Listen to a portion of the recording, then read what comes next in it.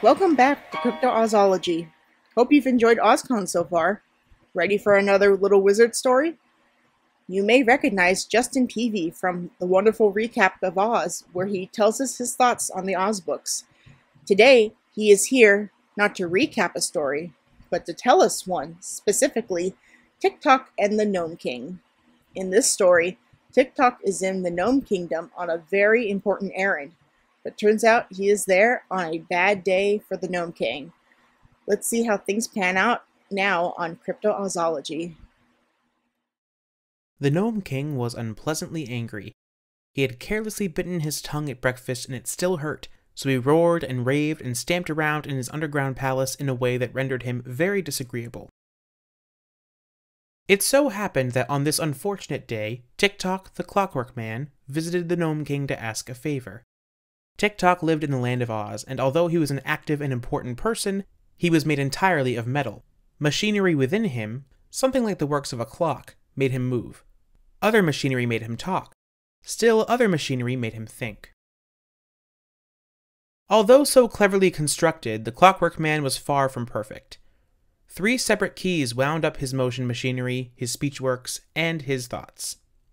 One or more of these contrivances was likely to run down at a critical moment, leaving poor Tik-Tok helpless. Also, some of his parts were wearing out, through much use, and just now his thought machinery needed repair. The skillful little Wizard of Oz had tinkered with Tik-Tok's thoughts without being able to get them properly regulated, so he had advised the Clockwork Man to go to the Nome King and secure a new set of springs, which would render his thoughts more elastic and responsive. Be careful what you say to the Nome King, warned the wizard. He has a bad temper, and the least little thing makes him angry. Tik-Tok promised, and the wizard wound his machinery and set him walking in the direction of the Nome King's dominions, just across the desert from the land of Oz. He ran down just as he reached the entrance to the underground palace, and there Kaliko, the Nome King's chief steward, found him and wound him up again. I want to see the king, said Tik-Tok in his jerky voice. Well, remarked Kaliko, it may be safe for a cast iron person like you to face His Majesty this morning, but you must announce yourself. For should I show my face inside the jewel studded cavern where the king is now raving, I'd soon look like a dish of mashed potatoes, and be of no further use to anyone. I'm not afraid, said Tik-Tok. Then walk in and make yourself at home, answered Kaliko, and threw open the door of the king's cavern. Tik-Tok promptly walked in and faced the astonished Nome King, to whom he said, Good morning. I want two new steel springs for my ThoughtWorks and a new cogwheel for my speech producer. How about it, Your Majesty? The Nome King growled a menacing growl, and his eyes were red with rage. How dare you enter my presence? he shouted. I dare anything, said Tik-Tok. I'm not afraid of a fat gnome. This was true, yet an unwise speech. Had Tik-Tok's thoughts been in good working order, he would have said something else.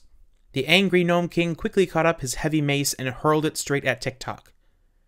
When it struck the metal man's breast, the force of the blow burst the bolts which held the plates of his body together and they clattered to the floor in a score of pieces.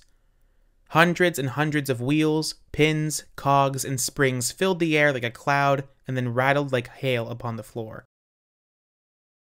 Where Tik-Tok had stood was now only a scrap heap, and the Nome King was so amazed by the terrible effect of his blow that he stared in wonder. His Majesty's anger quickly cooled. He remembered that the Clockwork Man was a favorite subject of the powerful princess, Ozma of Oz, who would be sure to resent Tik-Tok's ruin. Too bad, too bad, he muttered regretfully. I'm really sorry I made junk with the fellow. I didn't know he'd break. You'd better be, remarked Kaliko, who now ventured to enter the room. You'll have a war on your hands when Ozma hears of this, and the chances are you will lose your throne and your kingdom. The Nome King turned pale, for he loved to rule the gnomes and did not know of any other way to earn a living in case Ozma fought and conquered him.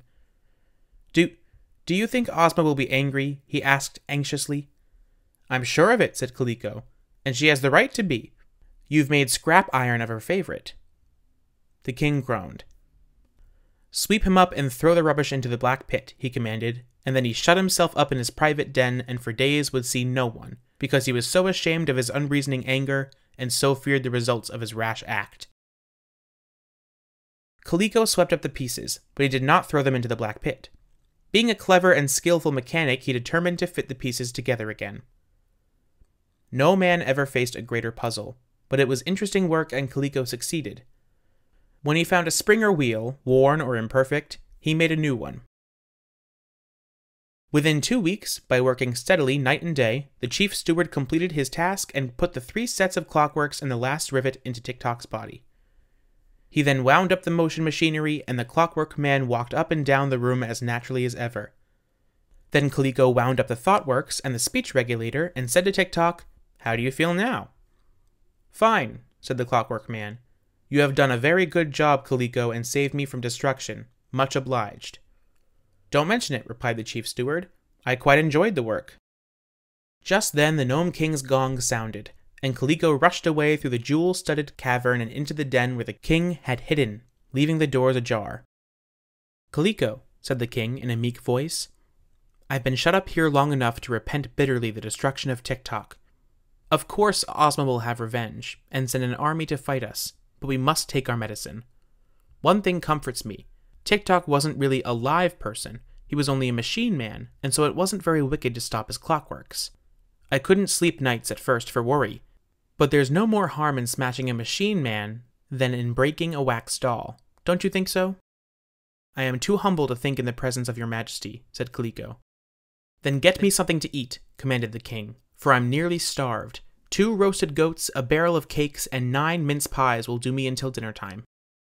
Kaliko bowed and hurried away to the royal kitchen, forgetting Tik-Tok, who was wandering around in the outer cavern. Suddenly the Nome King looked up and saw the clockwork man standing before him, and at the sight the monarch's eyes grew big and round and he fell a trembling in every limb. Away, grim shadow, he cried. You're not here, you know. You're only a hash of cogwheels and springs lying at the bottom of the black pit. Vanish, thou vision of the demolished Tik-Tok, and leave me in peace, for I have bitterly repented. Then beg my pardon, said Tik-Tok in a gruff voice, for Kaliko had forgotten to oil the speechworks. But the sound of a voice coming from what he thought a mere vision was too much for the Nome King's shaken nerves. He gave a yell of fear and rushed from the room. Tik-Tok followed, so the king bolted through the corridors on a swift run and bumped against Kaliko, who was returning with a tray of things to eat. The sound of the breaking dishes as they struck the floor added to the king's terror, and he yelled again and dashed into a great cavern where a thousand gnomes were at work hammering metal.